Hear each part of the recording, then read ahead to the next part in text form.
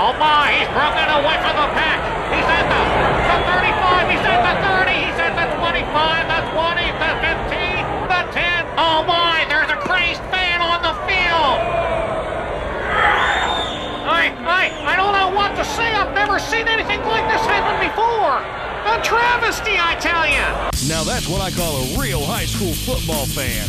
This week's matchup, the Williamsburg Pirates versus the Ironton Tigers, right here on QCW, Saturday at 9.